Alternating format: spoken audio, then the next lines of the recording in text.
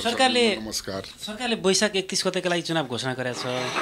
अब विशेष गरी दुई नम्बर प्रदेशमा यो क्षेत्रमा चाहिँ चुनावको गतिविधि त्यति देखिएको छैन। यहाँले अब यो चुनावलाई चाहिँ कसरी लिइरहनु भएको छ?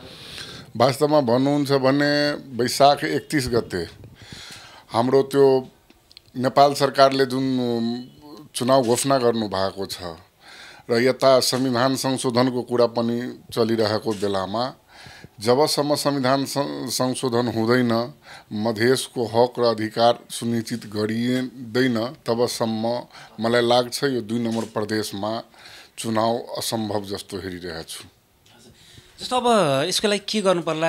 जस्तो मधेसी जनअधिकार फोरम लोकतान्त्रिक अ, ले चाहिँ अलिकति यो मधेसी मोर्चाले भन्दा अलिक नरम नीति अप्नाएर पनि हिँडिरहेछ। जस्तो यहाँहरूको केन्द्रीय कमिटीमा चाहिँ चुनावलाई हेर्ने दृष्टिकोण कस्तो बनाइएको छ?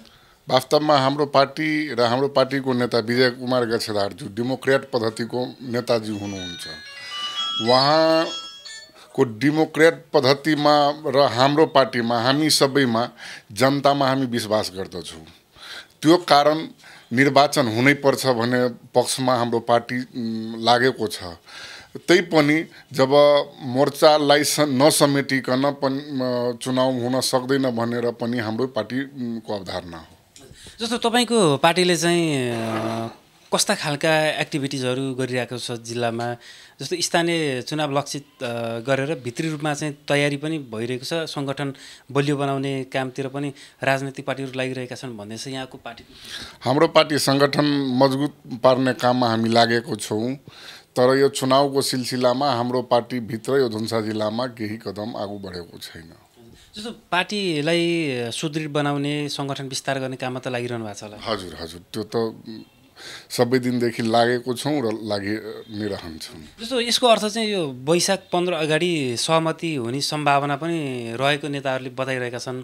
यदि वैशाख पन्ध्र अगाडिसम्म सहमति भएर निर्वाचनमा जाने अवस्था बन्यो भने त्यसको लागि चाहिँ तम तयार चाहिँ हुनुहुन्छ हो सहमति भइसकेपछि संविधान संशोधन भइसकेपछि र सीमाङ्कनको ठोस संविधानमा या राजनीतिक दलहरूतिर ठोस प्रतिबद्धता भएमा हामी चुनावमा जान्छौँ।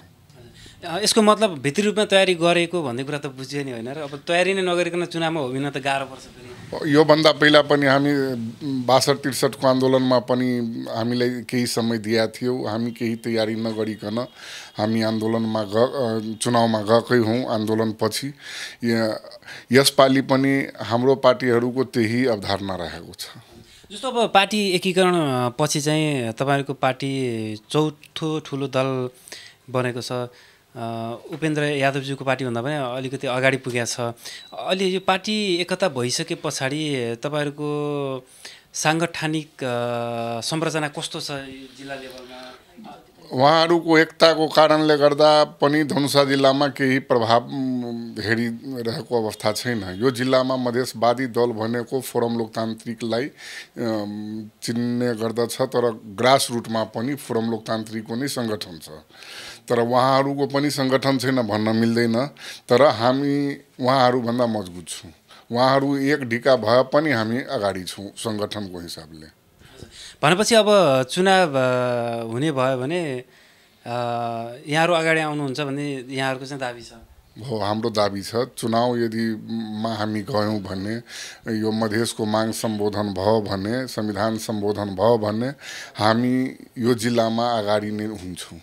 जस्तो अघि हामीले नेपाली काङ्ग्रेसका स्थानीय नेतासँग कुरा गरेका थियौँ। नेकपा एमालेका स्थानीय नेताहरूसँग पनि कुरा गरेका थियौँ। उहाँहरूले पनि हामी नै अगाडि आउँछौँ भन्ने दावी गरिरहनु भएको छ। अब खास जनताको मनोभाव चाहिँ साँच्चै बुझ्न सक्नु भएको छ कि छैन हामीले बुझेका छौँ नेपाली कङ्ग्रेस एमाले र माओवादी। यो मधेसी जनतासँग म पनि मधेसी हुँ भनेर मत ठगेर अनि काठमाडौँमा संविधान लेख्ने बेलामा बिक्री गरिदिया छ यहाँ उहाँहरू एकै शब्दमा भन्नुहुन्थ्यो चुनावमा हामी पनि लडेको थिएँ। म पनि मधेसी हुँ। मलाई पनि भोट दिनुहोस् भनेर भन्दाखेरि जब संविधान सभारूपी डिएनए टेस्ट यदि भयो भने उहाँहरू पक्कै सङ्घीयता र मधेसको कितामा उभिनु भएन। यो कुरा जनता समक्ष पुगिसकेको छ।